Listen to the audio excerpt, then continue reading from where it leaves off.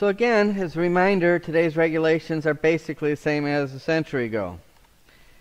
Public councils and planning commissions and public meetings have to understand the regulations.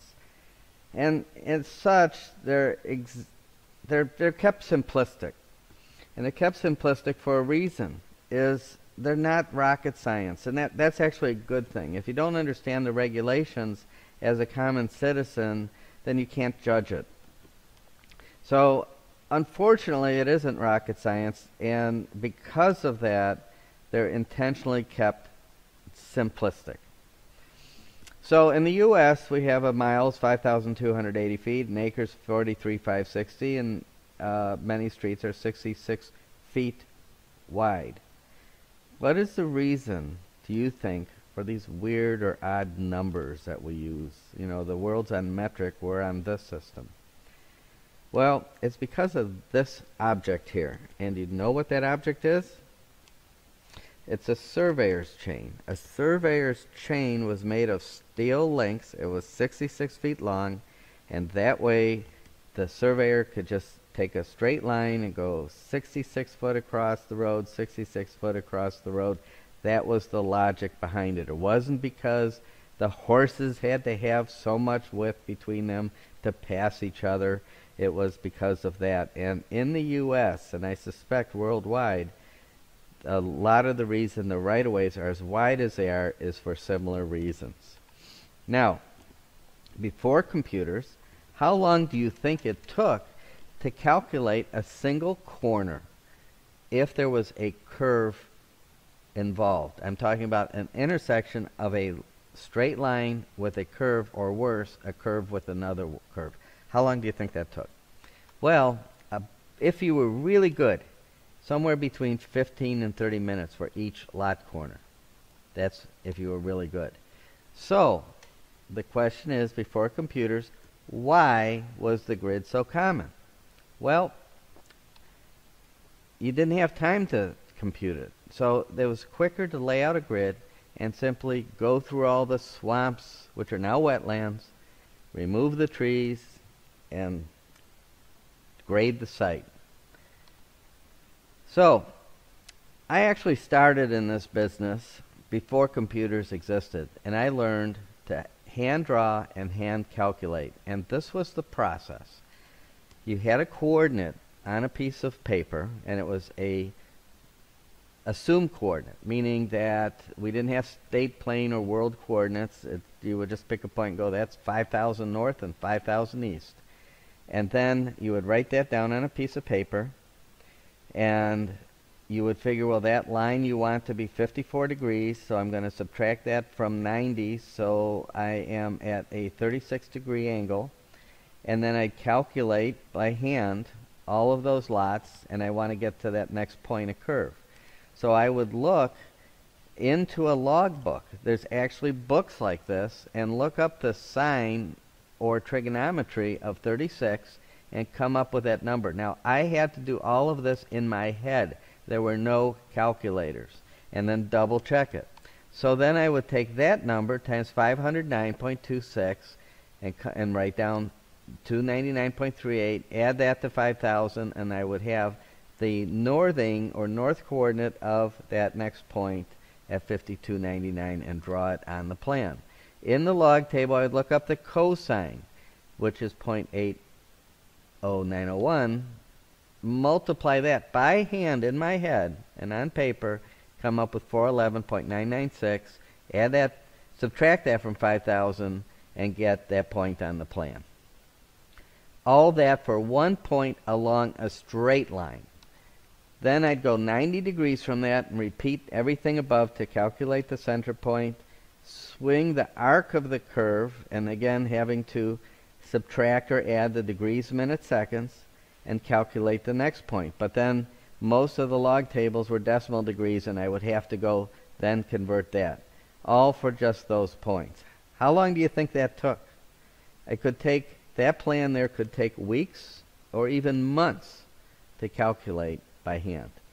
So the 90 degree angle between the line leading into the curve and then to the center point is tangent to that line. That's what that means. It's tangent. It's exactly 90 degrees. And the reason that's important is because not only did I have to calculate all this by hand, that someone in the government had to check all of it by hand. So it had to be done twice. And you can imagine how long that took. So you needed a bit of a straight line between curves so that you could figure out a direction. That's called a tangent. But you had to have that because everything you did was done by hand. And then the lot line radiated from the center of that curve, the swing in an angle, and that's called a radial line. So lot lines were perpendicular to the right-of-way or radial to the right-of-way primarily because it would take so long to calculate it and if you didn't do it, it would be nearly impossible to plat check it. At least not in a uh, reasonable time. So the question is, how did cities plat check submittal accuracy? Well, again, they had to manually check it, cumbersome and slow. So if it took a month to calculate it, it could take a month to check it before it could be approved. So as we learned, we no longer have four points taking a tremendous amount of time when we could do 162 lot subdivision in less time it takes to calculate one single point. So we're not we're in a completely different era today. So we don't need plat checking anymore because it is just assumed that with the modern systems everything is going to be correct. So the answer is no, we don't manually plat check anything today. So what regulations still exist in ordinances that have their basis in the past but are not relevant anymore? And the answer is any geometric requirement that were held over strictly for manual plat checking. Those include sidelines must be radial or perpendicular, tangents between curves, and street right-of-way being 66 feet wide. And that's why most modern development, even if they are curvilinear, are still very rigid in nature. Because we're holding on to things that uh, have no basis today. It has the same basis as if we thought we were going to measure everything with that chain. So what drives opposition of the neighbors to the next development going in? And it's always going to be the desire for space. Those neighbors, if we're assuming it's an older development, it's probably less dense than the development going in today for a variety of reasons. So we assume that the neighbors don't want that in the backyard because it's going to be perceived as denser or less value. But that was because we were holding on to all of the stuff from the past. What you are going to use this system is is not to look backwards but to think forward to think differently. And that's why you need to dedicate yourself to learn this system because you certainly aren't going to be able to do this work if you are trying to do it with existing technologies that weren't intended to take the thinking forward so that is why it's critical that you learn Land Mentor. Remember lesson one, recognizing waste? Well, that was the plan. In a new era, we're looking again to grab frontage along the land, which means we can we have to step away from a linear thinking and create a much more efficient design. In doing that, we're reducing infrastructure and generally maintaining density. In this case, the before plan was so bad, we were able to gain density. But it's not about gaining density, and it should never be about gaining density over existing ways we're doing things. It should always be about gaining livability and value. Take our mind off of this density thing, but lower the construction costs, raise the value, product is the same price. And no CAD software can replicate this. Only you can. A person with a brain. The software can't think. It's very important that you understand that You have to make an effort. You have to think differently. If you don't want to make the effort, you'll be part of the problem. So, this is Transona at the air, the original drawing. We went ahead and traced everything and got a correct geometric model of that. The new design, as you can see, is significantly less street. So when you fill your site up with street, you have to have the smallest possible lot. So we reduce the street by 38% or 16,807 linear feet. So we gain 19 acres of land. So we've gained about 8% more land of the total land, which goes right back into lot size. We didn't gain density, we had the same density. So the land value, let's say is 40,000 an acre, we gain nearly three quarter million dollars in land value. But if the uh, conservatively on the low side of street with utility mains and sidewalks are $600 a linear foot, and we reduce it by 16,807, we gained over $10 million that we freed up to have better landscaping, better architecture, more efficient architecture, more efficient materials, and so we freed up nearly $16,000 or over $15,000 per home. So everything we did was not to ask for less. Everything we did was to provide more. And that's what pays for all of these extra things. To get a product that is the same price but a much better product. In the same way you don't have a dial phone anymore, you've got a smartphone. So, the traditional way to think is going back to the t-square and triangle, and it will maximize density, but will do so at the cost of maximizing streets, infrastructure. If we pull away from the boundaries and get a more meandering system to collect areas of the site, the nonlinear approach reduces and eliminates much of the waste we just demonstrated to you. It's not a logical way to think, but it's the proper way to think. And because it's not intuitive and logical, you're not going to see it automated ever in software. The average lot size went up. The reduction of infrastructure plummeted. We lost two lots out of the 244. So it has to be buildable. It's not a concept car where you showed this future and then the car you deliver is much different. You have to deliver what you promise.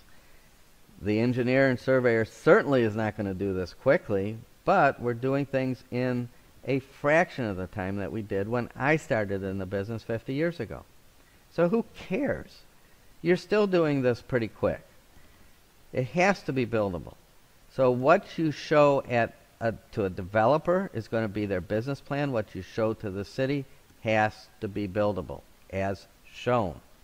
Very important.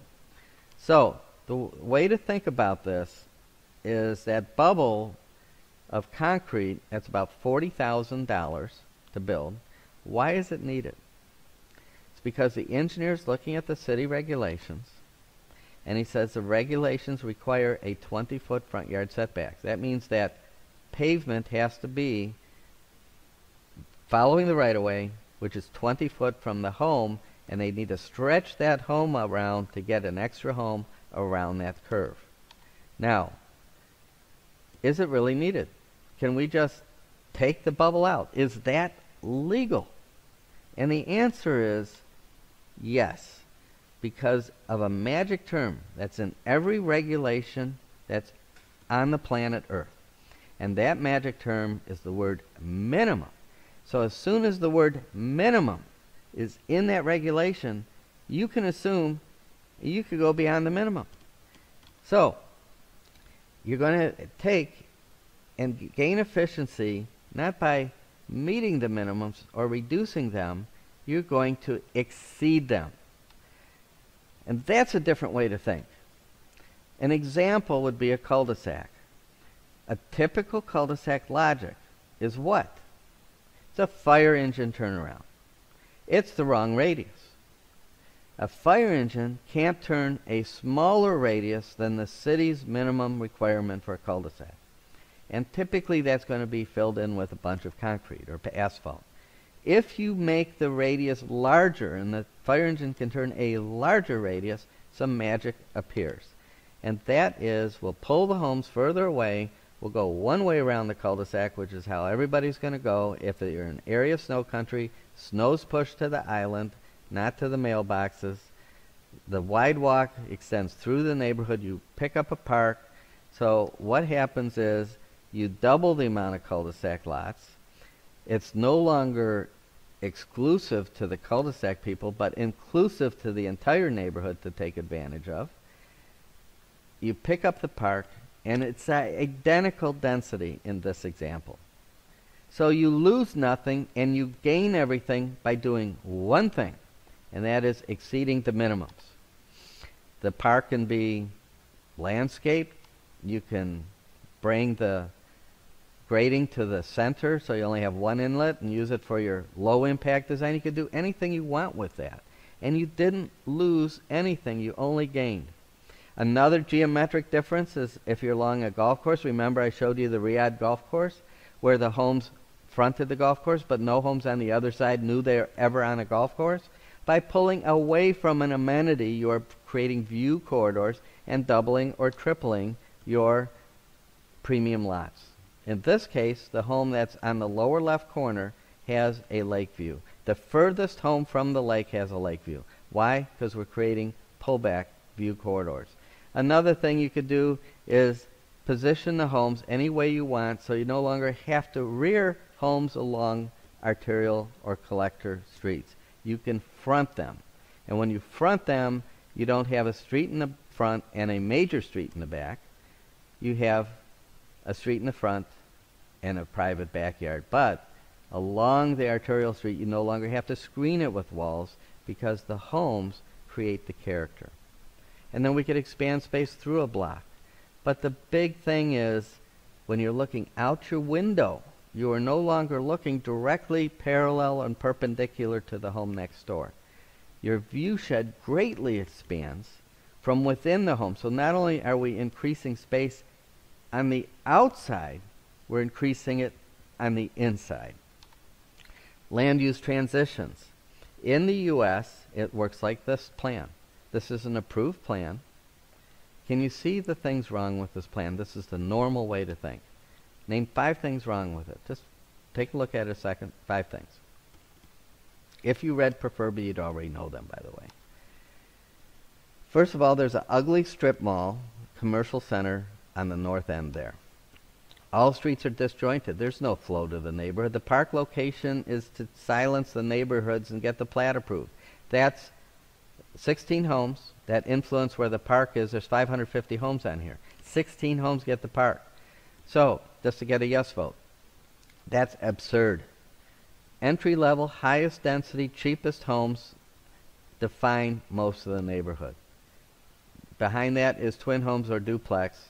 That's the next price point up. And behind that, behind all of this is hidden the single family. No one's going to know this is a single family neighborhood, but this is the typical way planners think, at least in the U.S. Lots of stop, turns, and accelerates. No walking connectivity to the open space. And an expensive drainage system because there's no space for surface flow on this rolling site. So the land use that we took and we, uh, another developer bought it, had us replat it.